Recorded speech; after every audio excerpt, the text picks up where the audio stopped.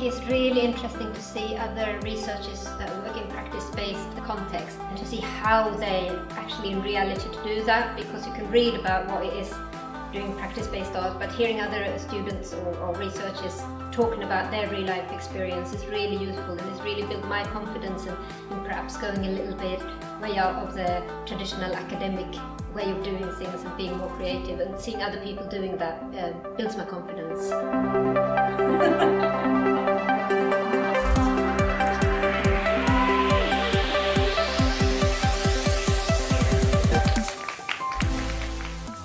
first session, it's already been a cracking eye-opener in terms of clarifying what the structure of my PhD has to be.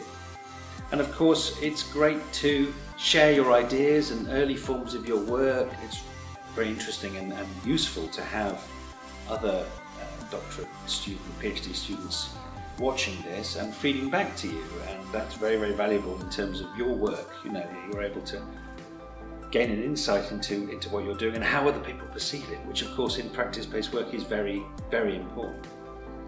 I think about things by making and doing things. My training originally is as a fine artist, so I, I do a lot of drawing as a way of visualising material and then I kind of make things and the work speaks back.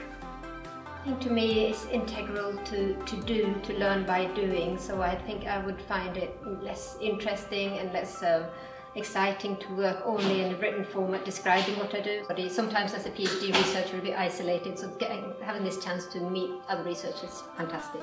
Through being here today, I have uh, got a deeper understanding of what I'm doing in my writing. I sense that maybe I'm heading in the right direction with my writing, specifically with my uh, play script, I was actually forced to sit down and put it together in, in its, in its a, a form that I was happy to present.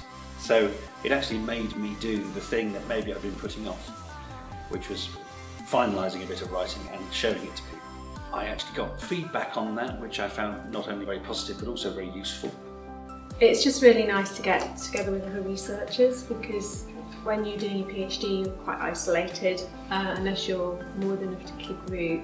What's really nice is seeing each other's practice, learning from each other, sharing ideas and exploring across disciplines rather than just being in your own silo all the time.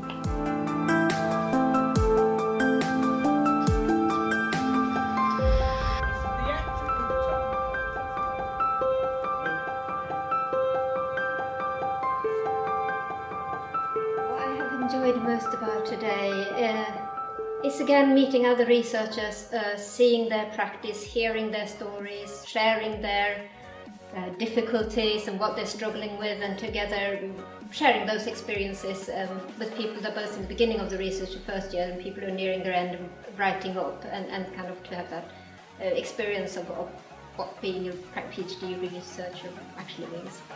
Presentations and the discussions around them have all been very interesting and a very diverse range of both disciplines and topics.